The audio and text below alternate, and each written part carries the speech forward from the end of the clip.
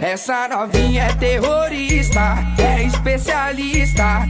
Olha o que ela faz no baile funk com as amigas.